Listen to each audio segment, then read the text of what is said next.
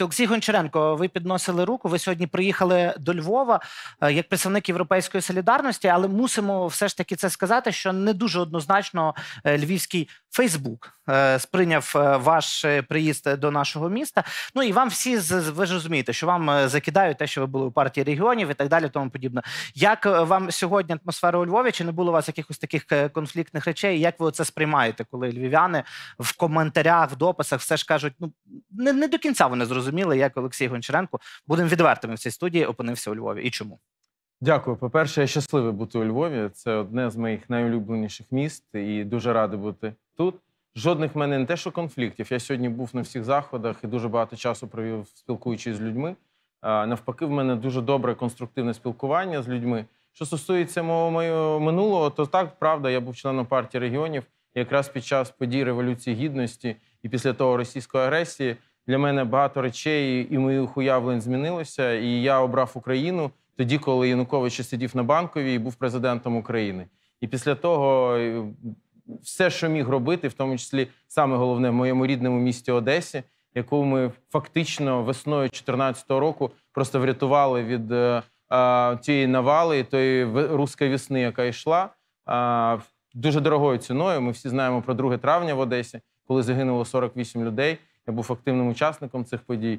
Тому, звичайно, що і тепер я за це свою певну ціну плачу. Вже три диверсійні групи знешкоджені українськими спецслужбами, які мали завдання чи то моє вбивство, чи то викрадення. Ось двоє дві ці групи сидять в в'язниці, а третю Путін вніс в списки на обмін і обміняв на українських військовополонених, тим самим показавши, хто насправді був замовником цього. Тому мені здається, що мені абсолютно не те, що не соромно, а мені є що казати людям. І навпаки, дуже важливо, що сьогодні саме Одеса їде в Львів, і щоб Львів приїжджав в Одесу. І так таким чином ми можемо дійсно ту українську політичну націю, єдину, яка і народилася в кінці 13-го, на початку 14-го років, її далі гуртувати. Тепер я ви хотів би- займалися європейською Я хотів би інтеграцією. Ви були в пар'є завжди. Ви були в е, можна сказати на вістрі попереднього парламенту в європейських процесах.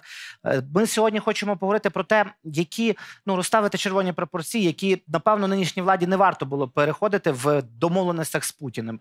На ваш погляд, Абсолютно Що вірно. може От я хотів відреагувати на шановну шановного колегу. Дивіться, перше, ну коли ми кажемо про наглядачів ОБСЄ і міжнародних спостерігачів, це все добре звучить, але давайте почитаємо ту саму формулу Штанмаєра, яку вимагав Путін, бо це насправді формула Путіна. І побачимо там таку фразу: в цілому визнають вибори. В цілому ОБСЄ в Росії визнає вибори демократичними. Ми в це віримо з вами. Далі давайте подивимося, як відбувається спостереження на лінії е, зіткнень е, на Донбасі, де є спостереження ОБСЄ. Ми віримо в це. Давайте згадаємо, що в ОБСЄ входить сама Росія, і там буде її спостерігачі безпосередньо від Російської Федерації. Ми віримо в це. Тому вибори можуть бути тільки тоді, після перехідного періоду. Тому що якщо сьогодні провести вибори, то ми розуміємо, що проукраїнське населення звідти виїхало. Хто залишився їм 5 років, промивають мізки пропагандою, що хунта їх вбиває, кидає ракети, бомби і так далі. Результати виборів очевидні. Там буде перемагати тільки партія Путіна. І результатом буде наступне: що ми будемо мати анклав всередині держави, який фа- де-факто контролюється Путіним, а де юре, начебто, український. Це буде катастрофа.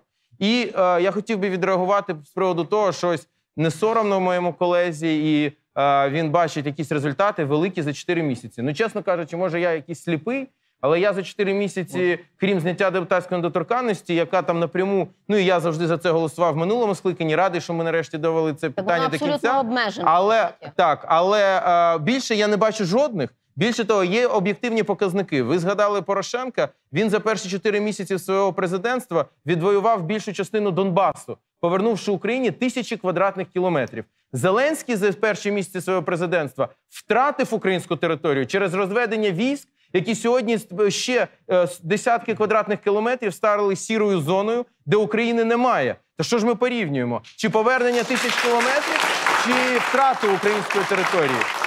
Я за те, щоб українська влада повертала. Я за те хочу нагадати міжнародну діяльність, коли за ті ж самі місяці була створена потужна антипутінська коаліція в світі. І що ми бачимо сьогодні, коли Україна стає токсичною, коли ліквідовується посада спецпредставника по Україні, коли весь світ сміється з того, як наш президент любить дупу е, Трампа, чи ще щось, що там наговорили в цих плівках і розмовах, то я вважаю, що на жаль, ми навпаки вбиваємо міжнародні ті результати, які були останні 5 років. you